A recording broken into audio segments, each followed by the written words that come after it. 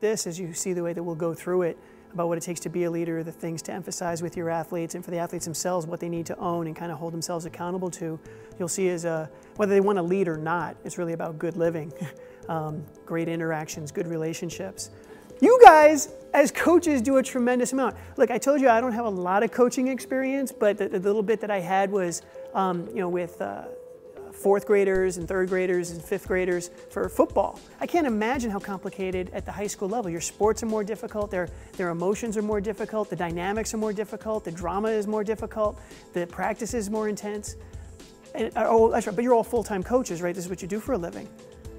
Right? You don't have jobs or families, right? No, they, if you have leaders that can help you out with any of this, even if it's just getting your clipboard, I imagine it's going to help you with your sanity. So, what does it say if an athlete can be on the field and they can really buy into your philosophy and be another voice for you? I imagine that it'll just multiply your effect as well as decrease your stress. So, leadership must be taught. Where do our kids get the opportunity to learn that?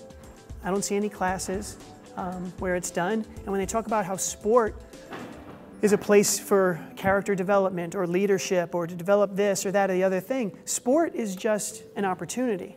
Anybody see bad sporting examples, bad sporting experiences, trauma happen in sport? Right? There's nothing in sport itself that makes it a wonderful thing. It's up to us, coaches, parents, to, to make it and teach those things. So if we want sport to be a leadership developing thing, we got to do something about it. Depending on your team, depending on what you're dealing with, we'll kind of look at the pros and cons of all of these. Anything is an option, but at least you can kind of go into it in a more educated way about, well, what's the best way to do it. So you could pick, and that's actually a, a relatively common one. The pros are you're in control. Who likes control? right? I mean, you get your team, you kind of know who you want to be a leader. But the cons are, well, maybe you pick somebody that they're not crazy about. Um, maybe uh, they're not respected. Maybe they're, um, quite honestly, maybe you end up being wrong. I mean, I don't know how, how often you know the people ahead of time if you kind of pick it out. You could say, okay, look, it's your team. You, you know, you're on the field. Who do you go want as leaders? What are the pros to that? Yeah, then you're doing the opposite. You were saying, look, I really value what you say. You're giving them some ownership. But what happens? what are the negatives possibly?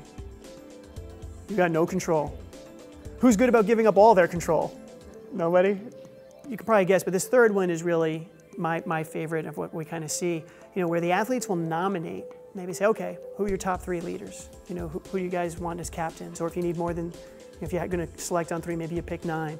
Uh, what are the reasons? You can get creative. Um, you know, give them a checklist of, of traits. Uh, maybe take some of the things that we have from here. Who's the best at maybe the different things that we will be discussing in a little bit. So you can guide it in a little way. But you solicit from them. But then ultimately the last decision is, is made up to you.